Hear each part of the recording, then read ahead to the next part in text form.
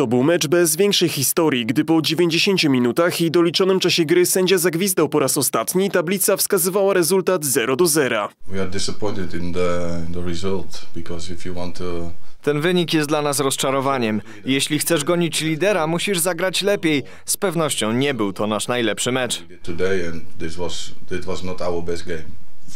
Ciekawe akcje z obu stron obserwowaliśmy dopiero w ostatnich 30 minutach meczu. Szalał przede wszystkim Patryk Makuch z Krakowi, choć i kapitan Lecha Mikael Isak mógł wpisać się na listę strzelców. Finalnie żaden z nich nie znalazł jednak drogi do bramki. Najlepszym graczem po stronie Lecha był jego bramkarz Filip Bednarek. Mieliśmy szczęście, bo Filip uratował nas świetną interwencją w końcowych minutach. Ostatecznie musimy szanować ten punkt, ale nie po to tu przyjechaliśmy. One point but this is not where we came from. Uważam, że mieliśmy tych sytuacji więcej, więcej takich klarownych sytuacji. No tak jak mówię, brakło tej kropki na D, żeby, żeby wywalczyć te trzy punkty. Uwagę fanów Lecha wzbudziła sytuacja z minuty 61. Po zmianie Christopher Welde zamiast usiąść na ławce rezerwowych udał się bezpośrednio do szatni. I will speak with him.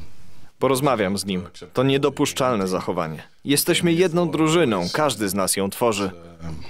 As one team to. W następnym ligowym meczu z Rakowem Częstochowa nie zobaczymy przy linii bocznej Johna Vandenbroma. To o pokłosie czwartej żółtej kartki dla szkoleniowca Lecha. W czwartek kolejorz powróci do gry w Lidze Konferencji Europy. Poznańska Lokomotywa zagra na wyjeździe z Austrią Wiedeń.